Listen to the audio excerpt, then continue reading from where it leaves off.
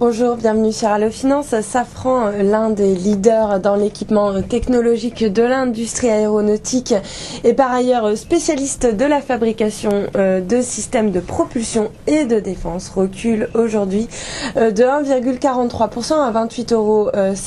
Alors il faut savoir euh, que le titre affiche une belle progression très linéaire, sans accroc et teste actuellement ses plus hauts annuels à 29 euros.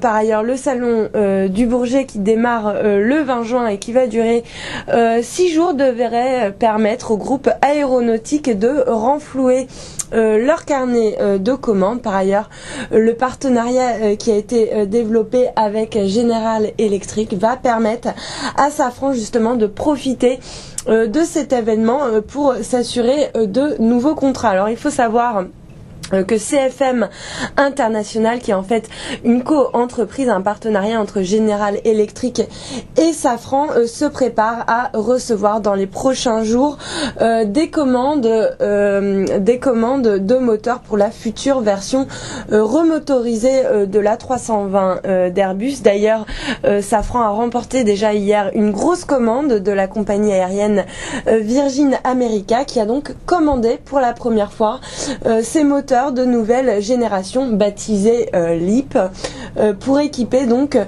30 euh, moyens courriers à 320 néo remotorisés pardon qu'il avait commandé en début d'année ce qui porte le total du montant du contrat à 1,4 milliard de dollars au prix catalogue. C'est plutôt de bon augure pour la suite. Les commandes euh, de ce nouveau moteur devrait être annoncé donc euh, lors du salon aéronautique euh, du Bourget. L'approche de ce salon qui devrait s'accompagner de nouvelles commandes va bien sûr servir de catalyseur à court terme pour le titre. Cependant, la prudence doit rester de mise car, comme je le disais tout à l'heure, le titre est vraiment très proche de ses plus hauts historiques.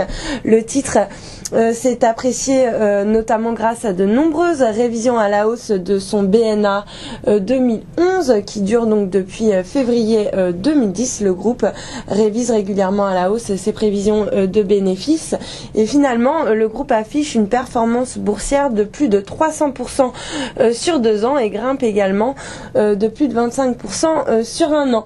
D'ailleurs, le groupe est plutôt bien valorisé avec un résultat net qui se paye 14,4 fois euh, le chiffre d'affaires contre 9,6 euh, par exemple pour son comparable américain General Dynamics et 10 également pour un autre concurrent, Lockheed Martin.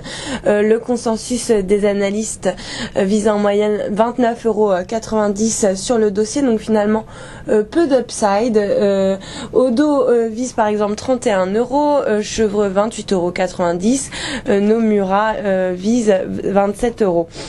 Pour notre part, nous attendons de voir si la résistance à 28,35 euros qui correspond en fait à la moyenne mobile à 50 euh, jours devient euh, un support euh, pour le titre. Si donc cette résistance devient support et que le titre se maintient durablement au-dessus des 28,50 euros et que le salon du Bourget s'accompagne donc d'un bon du carnet de commandes, alors on peut anticiper une poursuite de la hausse sur Safran. Voilà ce qu'on pouvait dire sur ce secteur. À très bientôt sur Allo Finance.